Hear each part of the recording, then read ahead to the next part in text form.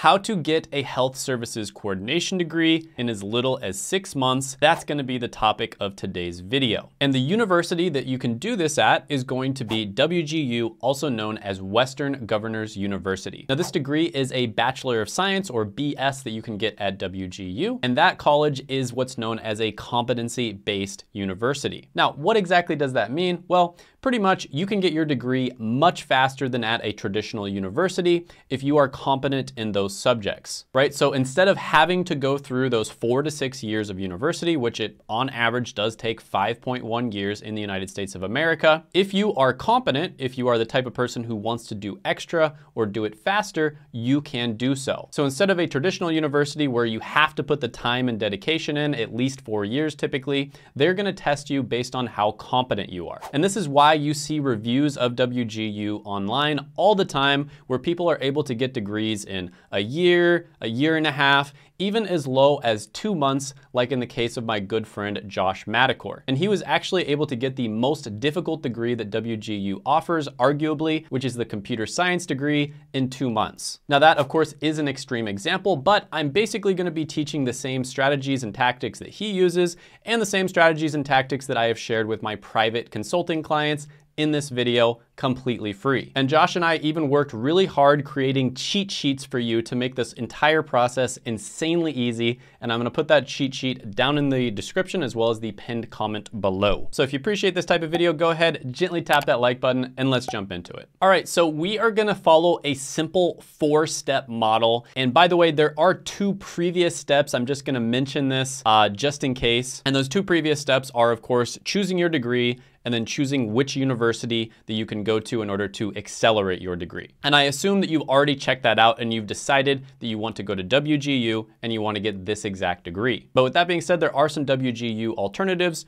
Uh, WGU also has its pros and its cons, which you should definitely weigh. And I did make a video about that, which I'll put right here. But the first step is you want to transfer in all of your existing credits. Now, this step sounds really easy and you're probably wondering, why would you even put that in? Of course, I'm gonna transfer in my existing credits, but I've seen people actually mess up at this step. And the way that they mess up is they don't realize the different types of credits that they can transfer in. And WGU is extremely gracious with the credits that they accept. So for instance, you can transfer in work experience, military experience, certifications and certificates, AP and IB classes that you might have taken in high school, as well as other college classes that you took took if you maybe got a degree already or you went to community college for a few semesters. So definitely make sure that you look into all of the stuff that you can transfer in. Now don't worry if you don't have anything to transfer in, that's totally fine. I actually have a better alternative a little bit later on in the video. But yeah, definitely make sure you transfer in everything that you possibly can. Uh, get your transcript together, tell the advisor all of your experience, etc. And then once you've done that, the advisor is going to send you back a list of classes that you still have to take. And like I said, the cheat sheet down below will look very similar to what they're gonna send you. And in fact, I'd say my spreadsheet's probably a little bit better. But then once you get that list of classes back, you're gonna move on to step two, which is you are going to use third-party companies to test out of many of the remaining classes. And the third-party companies that we recommend that we've had the most good experiences with are study.com, straighterline.com, and sophia.org. Now, our favorite one is study.com. The reason it's our favorite one is because it just seems to be the one that people have the best experiences with. But with that being said, some people get super technical with it and they're like, oh, this straighterline.com class is the best for testing out of this class, and this sophia.org class is the best for testing out of that class. So if you want to get extremely technical with it, uh, you can kind of like, you know, go to the WGU subreddit and figure out which ones are the best for testing out of the different classes. But typically, overall, just to keep things simple, study.com does tend to be the best one. Now, overall, you do have to take 36 classes to graduate with this degree. And you can very comfortably, especially with the entry-level classes,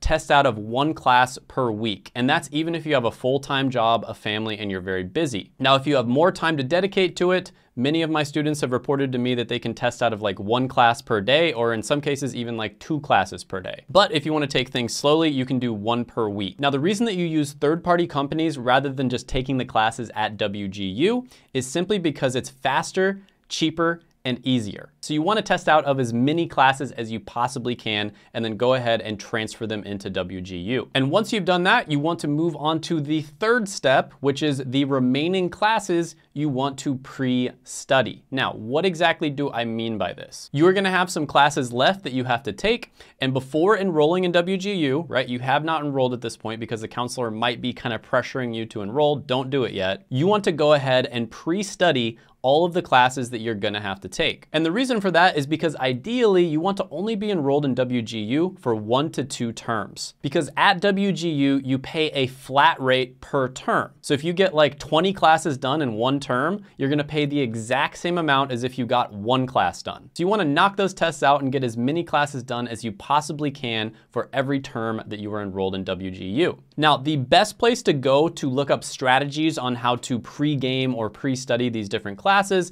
is the WGU subreddit. And not only is there a main WGU subreddit, but there's typically going to be a WGU subreddit for all of the different degree types as well. And on there, people will share strategies and tactics on how you can best study for these classes and then take the tests. So definitely leverage that. That can be a great resource for you. But there's also lots of other free resources online. YouTube is great.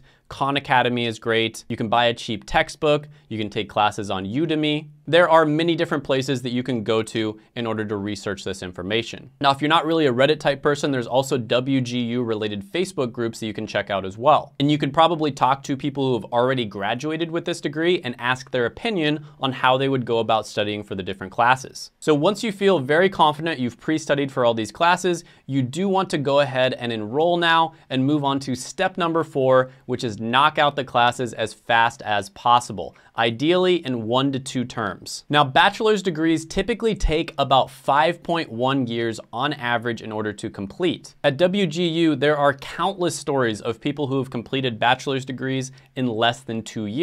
And in extreme cases, there's people who have done them in like two months, like my friend Josh Madakor, but of course he did transfer and pre-study and all that sort of thing in order to complete it in that two month period. But yeah, very realistically, you can knock out almost all the degrees at WGU if you really focus on it. And the full process in about one year. And if you got a family, you're very busy, full-time job, etc., you can still probably knock it out in two years or less if you really focus on it. Now, there are some classes that are gonna be more difficult than others. For instance, the financial resource management, healthcare reimbursement, and health service coordination capstone classes are going to be some of the more difficult ones. So definitely leverage, you know, talking to your professor and asking them, you know, how they recommend going about studying for those classes. And then boom, you're done. You graduated with a degree and hopefully two years or less. And in some cases, it can be six months or less. Now let's go ahead and go over a step-by-step -step example of how you can use the cheat sheet to make this whole process insanely easy. All right, so we just jumped into the cheat sheet and let me kind of go over these uh, categories. So, so this one right here is the ID and that is just a really easy way for you to identify which class it is. Here is the course names and here is the amount of units each course has. And then this column is gonna have the study.com transfers that you can transfer in